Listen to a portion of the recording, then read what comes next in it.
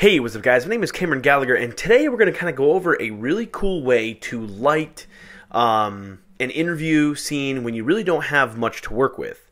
So, I was recently at an event where I was in a hotel room. Um, actually, we were in a hotel conference room, and there was really poor lighting in there that, of course, you know, would flicker on camera, cheap LED lights, and there really wasn't a whole lot I could work with. I didn't have a ton of lights, a ton of stands, different things like that. So I was very, very limited in what I had and what I could do. But what I had to do is I had to still come off with a really good looking and, you know, um, a dramatic looking interview. Now, of course, this is something that, you know, can commonly happen. You know, you're going to be in hotel rooms, whether it be working on certain things or, or doing a ton of different stuff. So, what I had to do was I had to figure out a way to light a subject pleasing to the eye and to, you know, um, do it easily and cheaply, really, and, and and that's the other key thing too, is um, you know I had to do this you know on, on the cheap end. So let's kind of go over the camera setup first and kind of what I was running, and I'll show it. I have a behind the scenes photo right here. So basically, you can see this is the hotel room here. There is really nothing in this place at all. Like I said, it was all like this gray wall. Thankfully, there were these like four oars that were hung up, and this is literally the only thing in the entire place that had anything at all. So I knew um, this is an ag based company, so I knew that this kind of like outdoorsy vibe was going to work perfectly fine. So I decided, okay, I'm going to be shooting with that in the background. Um, and the first thing that I do is I immediately turned off all the lights because I knew, okay, we are not using any of the lights here at all, um, especially because I did have two lights. So um, I'm shooting this on the GH5 and I was on the 50 millimeter 1.4 at 1.4. Um, I honestly can't remember the ISO right now, but it was at 4K and 10 bit.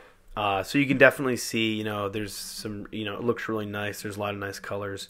So anyway, what I started with is I knew that I wanted to have a dramatic key light and I wanted to have a nice backlight. So I have an Aputure 120T, so it's a tungsten light, and then I also have this two foot quasar.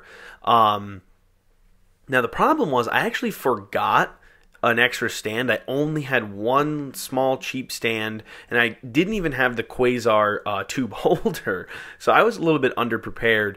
And, you know, of course, I, I knew that I wanted, it was going to be interview style, so I was kind of sitting like over here. Um, I had the gentleman face me. Uh, a little bit off kilter from the camera, probably like 45 degree angle, which I think is a really nice look. And then what I did was I had this quasar, uh, two foot quasar um, Quasar Science Tube. It's a 3000 Kelvin, not the uh, changeable one.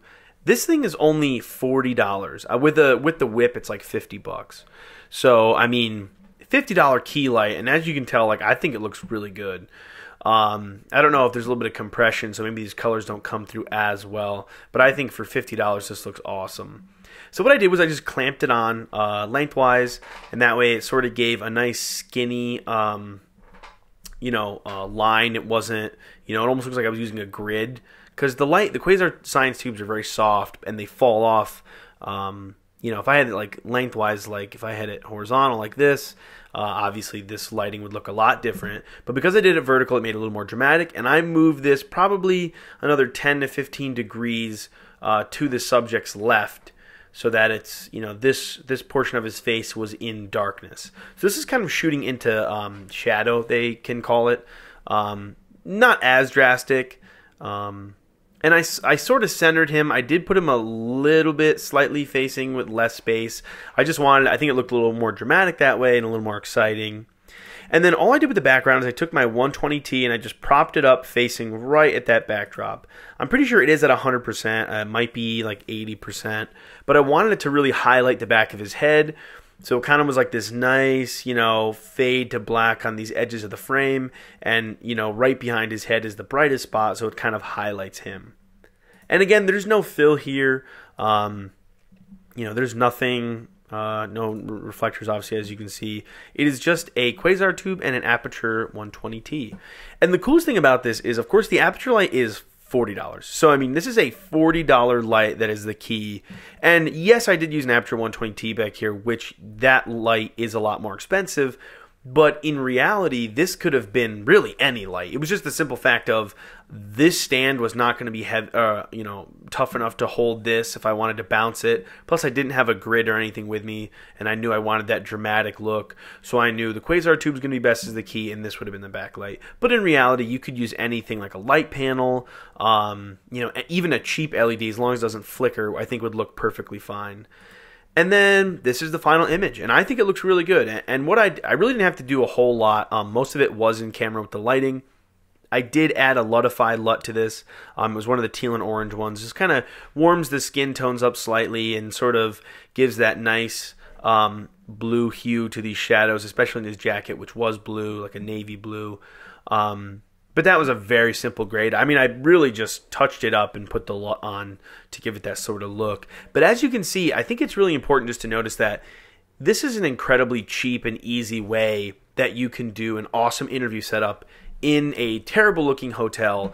And even if these weren't back here, I think this would still look totally fine.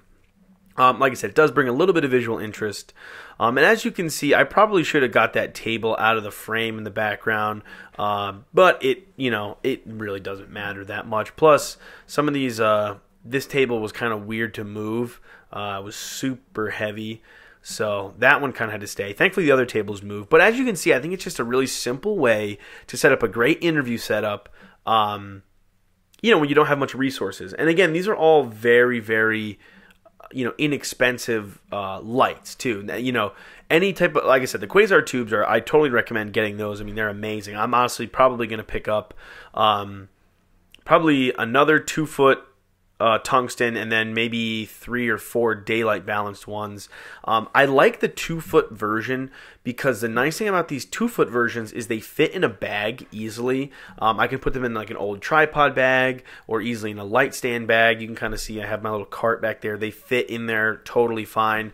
Where the four foot quasar tubes are a lot harder to transport. Um, I've seen guys use like PVC, like really, really big, you know, diameter PVC tubes, and they put foam in there and they put a bunch in there. But for me, that's kind of annoying. Uh, so I think the two foot tubes are the best way to go, and of course they're cheaper too, which is even better.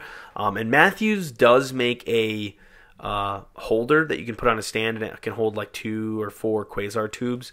Uh, I'm probably going to get that at some point, just because I find myself using these quasars so often the only disadvantage of these quasars is they aren't a hard light source. But that's kind of where my 120T comes in, and I'm hopefully going to pick up a 300D sometime, and that'll be another hard source. But as you can see, with, with one hard source back here and one soft source, um, you know, a $40 light keying this. This is a really, really great interview setup. But anyway, I hope this kind of gives you guys an idea of how you can work with a room. Um, I find this is like a great default to go to if you don't really know what you want to do for lighting or you're not really sure what you can do for lighting in the space and all that kind of stuff. I find that this is just the perfect default to go to and sort of go from there and see what happens. Um, but I hope you guys enjoyed this video. I'm going to do another couple breakdowns on some of these behind the scenes shoots I did and sort of talk about my workflow, um, especially once I get these projects out and I can actually show a lot of this stuff. Because at the moment, a lot of these I can't really uh, give out too much information on. But I am going to do a video more about the Quasar uh, science tubes. And I'm also going to do a video, I think, about the Aputure 120T because I think. I bought this light as more. I thought this was going to be like my main workhorse light, you know, something I would use on a daily basis. But I actually found that I almost use these quasar science tubes more because they're lighter, they take less energy, and generally speaking, most of the time I'm shooting some type of interview style thing.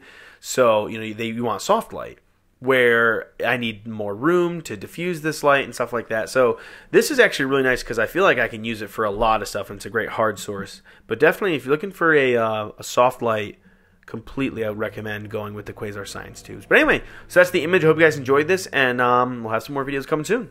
I'll see you guys soon.